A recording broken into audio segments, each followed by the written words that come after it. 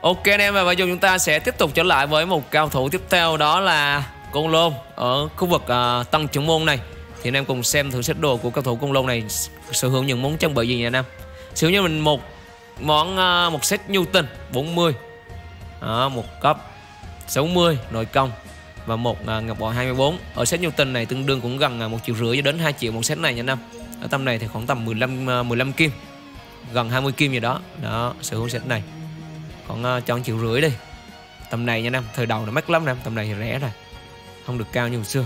Sử như mình đó là một cây à, ờ, đao hoàng mỹ lan tuyệt. Sau khi ép lên lan tuyệt thì sẽ có cho mình tóc 30 bên sát đặt móc 73 và sát thương 75 và 7, 30 phần trăm 30 điểm 75 phần trăm và hút nội lực xấu. Và cái này cũng vậy anh em sau khi ép lên cộng ờ, cộng 10 á sẽ được một cái đanh ngạo tiết tiêu phân một cấp nha năm nhưng mà cộng 10 hơi chua em ơi không phải đơn giản đâu nè sẽ vừa khó. Sở hữu cho mình một cái nón uh, 1940 cái đao này thì trị giá khoảng tầm uh, tầm này thì khoảng 2 triệu này mà khoảng 30 kim. Đó.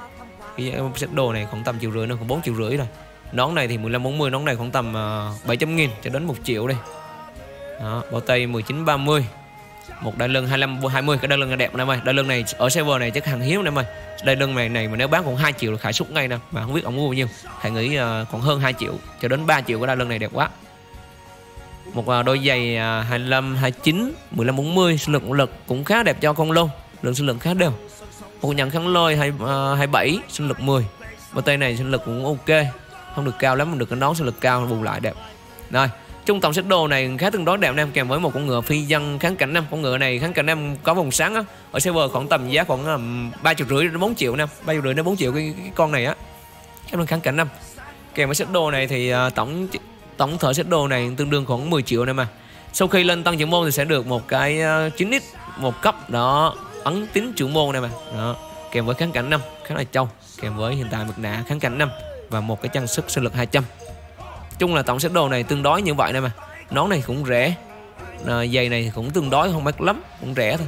Mắc là mắc ở bao tay và đại lưng này mà bao tay này cũng bèo bèo cũng được hơn uh, một triệu này mà bao tay này khả nghĩ cũng hơn một triệu ấy. 15 kim. Đại lưng này bèo lắm mà hơn 30 kim khả nghĩ hơn 2 triệu là cái chắc rồi. Nói chung là tổng thể set đồ này là hơn 10 triệu nè.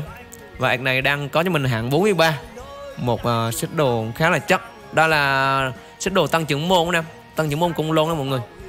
Nói chung là set đồ và như thứ này thì cũng luôn chơi chắc rồi em à rồi cảm ơn em đã theo dõi video của cầu thủ đinh đăng. Và đừng quên để lại cho cầu thủ đinh đăng cũng như là ban phật một like chia sẻ ủng hộ chơi nha năm kính chúc anh em một ngày mới vui vẻ và xem video vui vẻ nha.